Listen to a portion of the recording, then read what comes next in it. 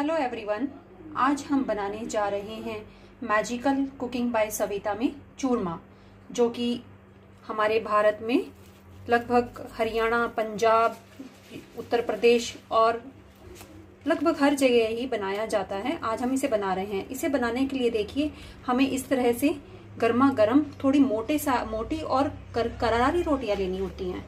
तो चलिए शुरू करते हैं। मैं रोटी को थोड़ा टुकड़ों में तोड़ लूँगी। ये देखिए मैंने सभी रोटियों के इस तरह से छोटे छोटे टुकड़े कर लिए हैं। अब हम इसको मिक्सर जार में बनाएँगे। वैसे तो इसको हाथ से बनाया जाता है। हाथ से इसका चूरा कर करके इसको बहुत अच्छे से बनाया जाता है। लेकिन मैं इसको मिक्सर जार में बना रही हूँ।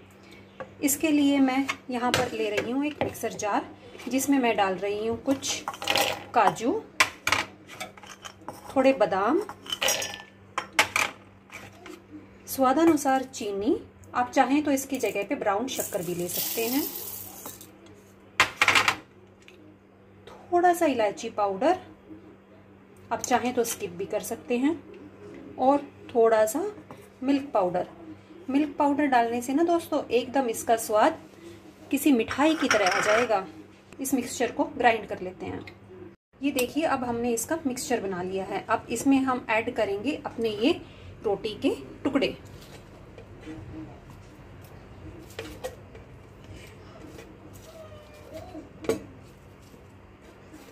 हमने सभी रोटी के टुकड़े इसमें डाल दिए हैं। और साथ ही मैं इसमें डाल रही हूँ देसी घी। इसमें घी जो है, बहुत ज़रूरी है। आप चाहें तो इसे बगैर घी का भी बना सकते हैं, लेकिन उसमें फिर बाइंडिंग नहीं हो पाएगी। मैंने ये यहाँ पर देसी काव का पतंजलि घी लिया है। अब हम इसे मिक्स कर लेंगे, इसे पीस लेंगे अच्छे से, महीन पेस्ट चूरमा पेस्ट तैयार है। बहुत अच्छा महीन ये पीस गया है। अब हम इसको एक प्लेट में निकाल लेंगे।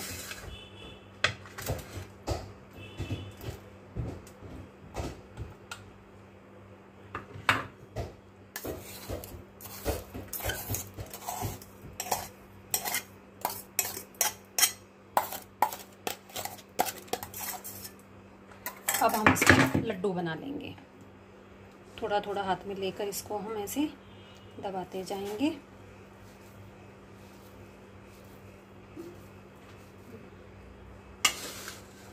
ऐसे ऐसे करके ये हमारे, हम सारे पेस्ट के लड्डू बना लेंगे। ये देखिए, हमारे बहुत स्वादिष्ट, ताकतवर चूरमा लड्डू बनकर तैयार हैं। अब हम इनको गार्निश कर देंगे ऐसे काजू और बादाम से। मैंने कुछ काजू और बादाम इसमें डालने से पहले बचा लिए थे। आप भी अपने घर में बनाएँ, खाएँ और सबको खिलाएँ। ये बहुत ही ताकतवर्धक और स्वास्थ्यवर्धक होते हैं। खाने में भी बहुत स्वाद लगते हैं।